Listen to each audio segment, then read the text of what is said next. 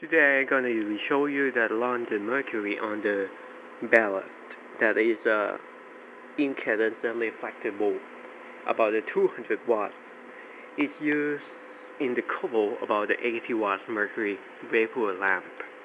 That is quite well and so bright. The brightness of this lamp is about 4,500 lumens. Due to the inefficiency of the, this mercury bulb compared to the metal halide bulb or the sodium vapor lamp. But it's so, it's so bright now to say anything in my home.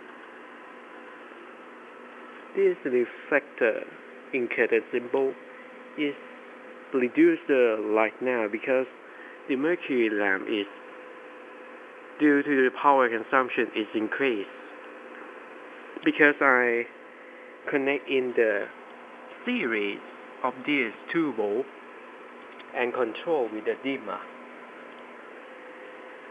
The mercury bulb is reached the full brightness now and you, you can see that it's so bright. The 80 watts equal to the 400,000 lumens to the 6,000 lumens about the mercury lamp. But I don't know because uh, I didn't have the measuring the luminance of flux. You can see the plasma is maintained in the quartz bulb. It's aligned as strict.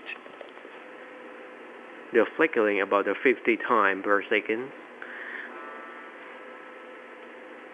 The voltage I use is a 220 volts used in the series of these light bulb and it worked quite well but I know that is insufficiency way to be used the mercury lamp.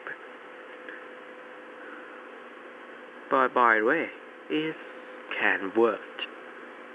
If your ballast is broken you can use the 200 watt incandescent bulb or the other thing that's consumption in the 2200 watts. And make it mercury lamp, mercury lamp bright as, soon as it's better now. Bye for now. Thank you for watching.